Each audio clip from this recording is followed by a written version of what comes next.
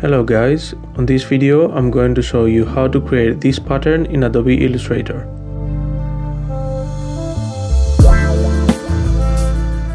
So we're going to start by creating this. First we need to make a rectangle, so we're going to take the rectangle tool and we create one.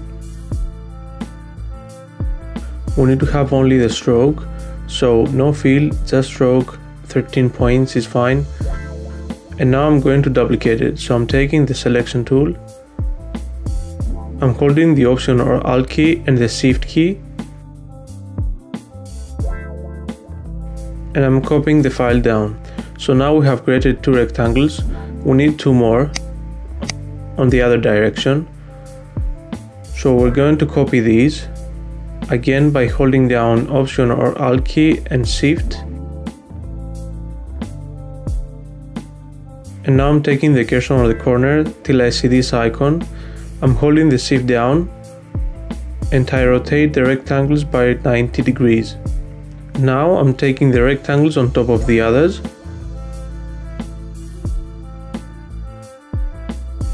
As long as I'm going to delete some lines, I'm going to the Pathfinder and I'm selecting this icon here for the outlines. These separate the outlines to smaller parts. Now the stroke has gone, but I can add it again.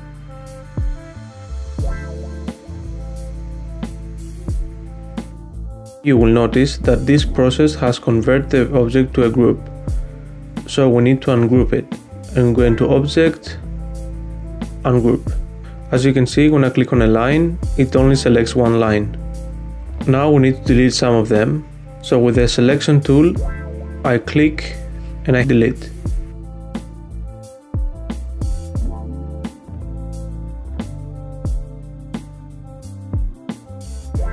We need to delete the outer lines as well, but we're going to use another method. So we're selecting the object, and then we're taking the pen tool. We add an anchor point, and then we click delete. This way we open the path, and we delete only the line we don't need. Now we select it again, pressing the letter P to select the pen tool, adding an anchor point, and delete.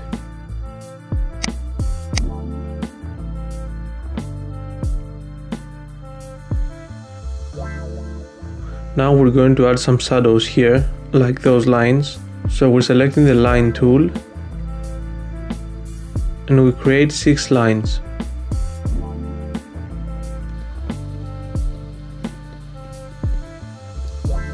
They need to be equally spaced, so I'm going to select them and click here. They have also the same stroke, so I leave it 13 and I'm going to change the width profile and select this one. We need to have them a bit closer together.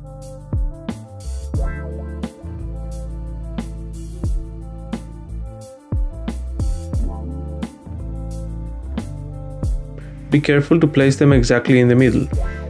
Now I'm going to group these lines. So I'm going to object and then group. And I will duplicate again holding the option or alt key, click and drag. I need to rotate it Now I'm going to select both groups and I will make it a new group.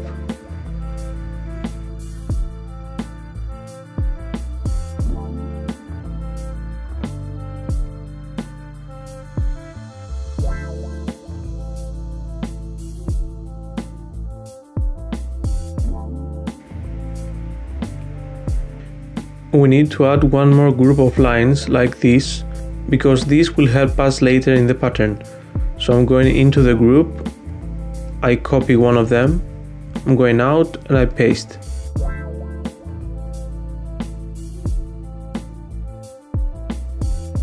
Now I duplicate it to put it in the opposite side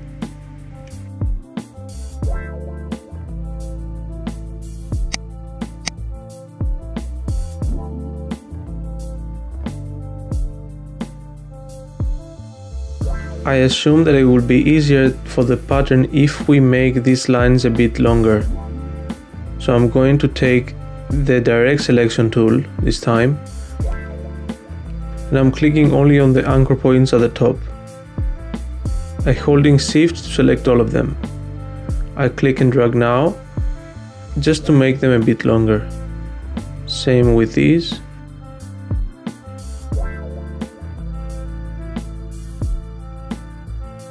The last thing we need to add before we create the pattern is the color. So I'm going to select the rectangle tool and I create a rectangle like this. I remove the stroke and I add a fill. I will add a different color separated from the previous one. So now I'm taking the selection tool by pressing the letter V. I click and hold to duplicate it. I'm also holding the shift key. Make sure to be in the middle of the stripe I select both, I duplicate them again. As earlier, I'm holding the Option or Alt key to duplicate them and the Shift key to move them straight. I rotate them and then I move them on top of the other stripes.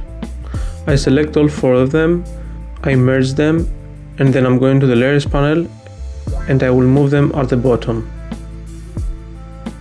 Probably it would be better to add all of them in a group, so I'm going to select all and going to object group. Okay, now that we have created the design, we need to make it a pattern. So I have it selected and then I'm going to object, pattern and then make. I'm going to change the spacing so it will be connected. So I click here and then I reduce the spacing. To make it easier, we can go and reduce the opacity of the copies. We can still see them, but it is easier to edit the pattern.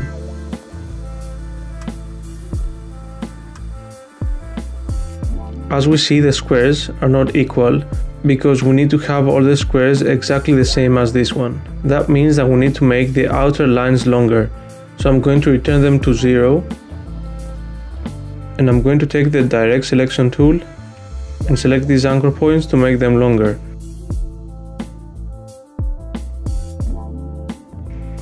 I do the same on all the sides. I think here will be okay because if you notice the size of this square here is about the same as this one. I also moved the shadow lines to be aligned.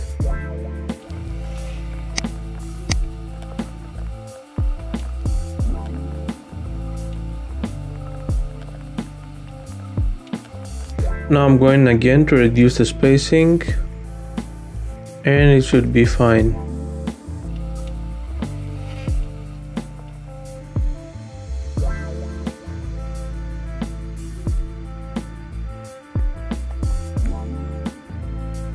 Here it seems to have an issue so we're going to change the overlap and now it looks better.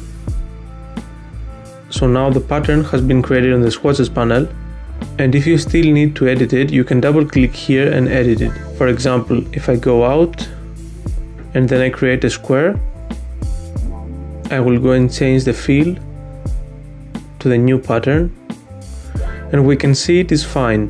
However if I would like to change the color for example I can double click. And then if we go to the layers panel we can change the color by going to the bottom select the layer and change the color to whatever we would like. For example something like that if we go out it has been updated to this color.